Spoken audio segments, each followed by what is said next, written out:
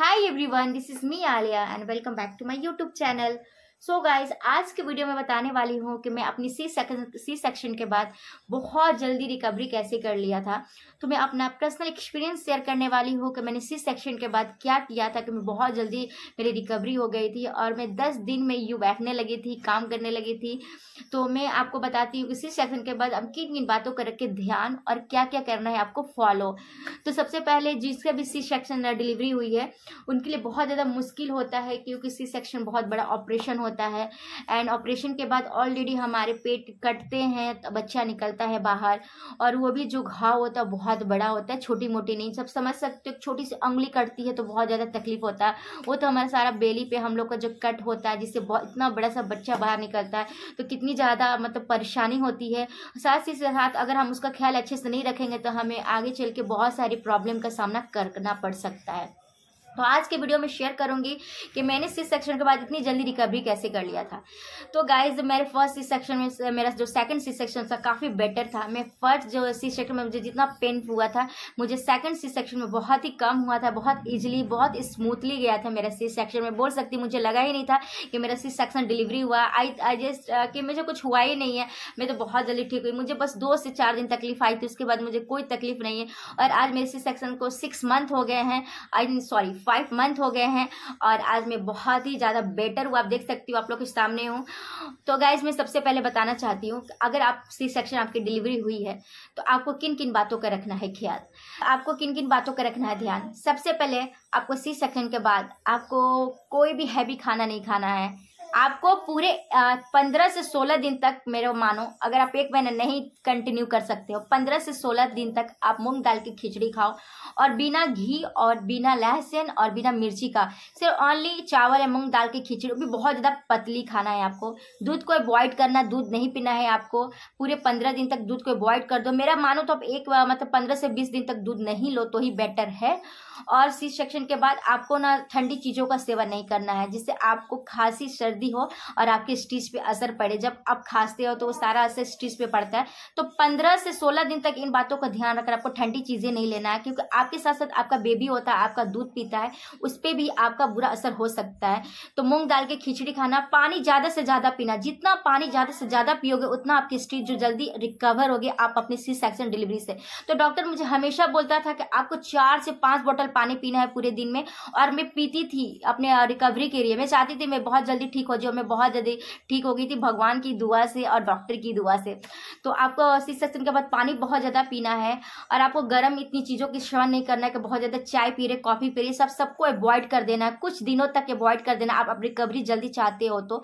तो मूंग दाल की खिचड़ी, अगर आप रोटी खाना चाहते हो तो मूँग दाल में हल्की पतली पतली रोटियाँ को आप भिगो कर आप उसको खा सकते हो। आपको केला नहीं खाना है सेक्शन के बाद एट द टाइम के मैं जो पंद्रह दिन, बीस दिन तक केला को अवॉइड कर देना, नारियल पानी पी सकते हो। तो आप सी सेक्शन के बाद सिक्स सेक्शन के बाद नारियल पानी पी सकते हो। प्रेगनेंसी में भी नारियल पानी पी सकते हो, सिक्स सेक्शन के बाद भी आपको नारियल पानी पी सकते हो। बहुत अच्छा होता है आपकी रिकवरी में बहुत ज़्यादा मदद करता है।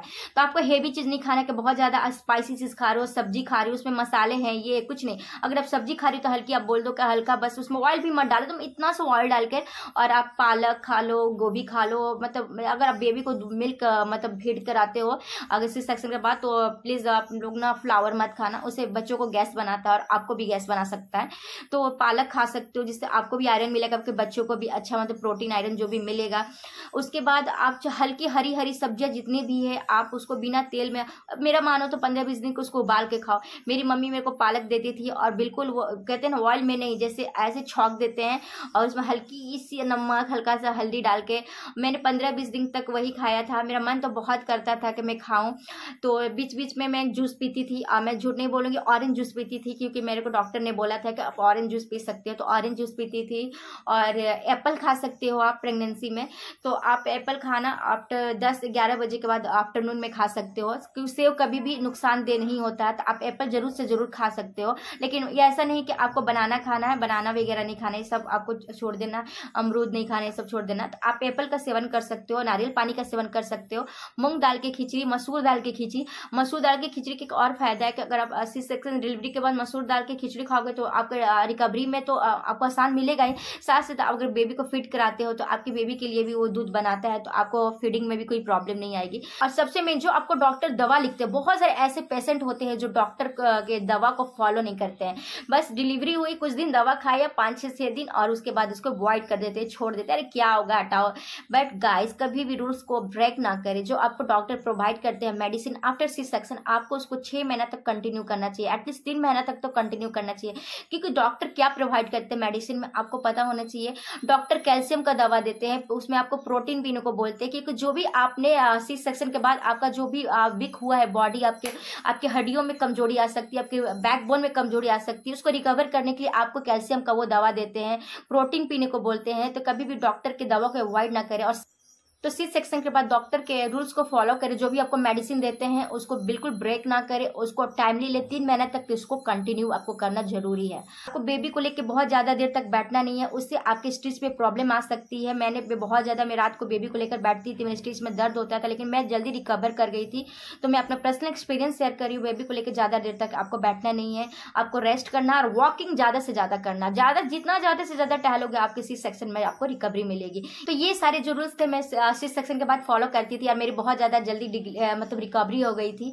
और तीन महीने तक भारी चीज़ कुछ भी ना उठाए, कोई भी भारी काम आपको नहीं करना, आपको झुक के काम नहीं करना है। एटलीस्ट तीन महीने तक आपको अवॉइड करना है।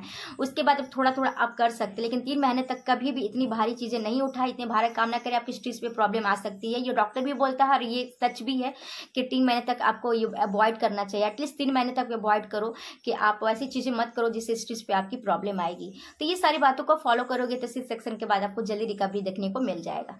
तो आई होप मेरा आज का वीडियो आपको अच्छा लगा होगा। अच्छा लगा वीडियोस को लाइक कर दीजिएगा कमेंट कर दीजिएगा, साथ ही साथ अपने ग्रुप में भी शेयर कर दीजिएगा कि जो भी लोग सिचुएशन के बाद रिकवरी करने के लिए टिप्स ढूंढते हैं तो उनके लिए शायद वीडियो इन्फॉर्मेटिव हो सकती है। तो चलिए मिलते हैं नेक्स्ट वीडियो में, तब तक के लिए guys bye bye and take care